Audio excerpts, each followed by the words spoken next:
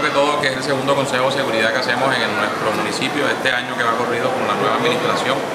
Eh, básicamente lo hemos hecho eh, para tratar de prevenir de unas situaciones que se vienen presentando en años anteriores.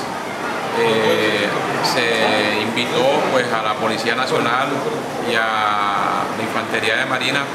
para tomar algunas medidas y acciones pertinentes a contrarrestar todo este tema de violencia que nos aqueja en el municipio y en los corregimientos y en las veredas.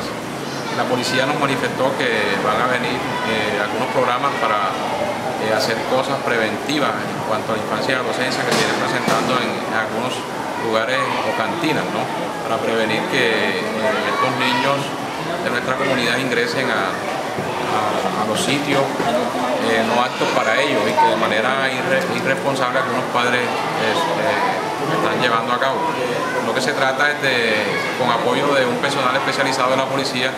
infancia y adolescencia, tomar las prevenciones del caso y correcciones en cuanto a, este tipo de, situaciones. En estos momentos, el, caso de inseguridad que se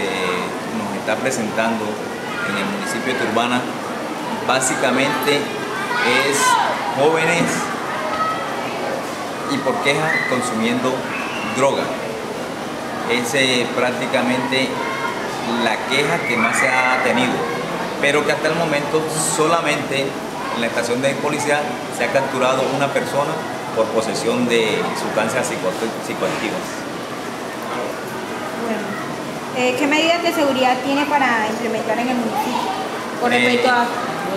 esta problemática y a otras más, de hurto? Bueno, en estos momentos en el día de hoy acabamos de realizar un comité de seguridad donde la Policía Nacional, especialmente la Metropolitana de Cartagena, nos hemos comprometido en general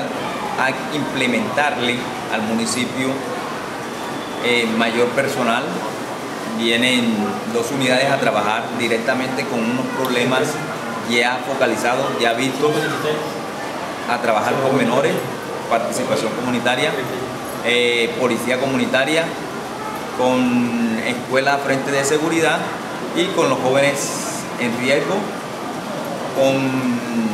y con los jóvenes en los planteles educativos. ¿En Baramá para cuándo llega este Bueno, eh, le digo que dentro de semana, semana y media, ya tenemos aquí el primer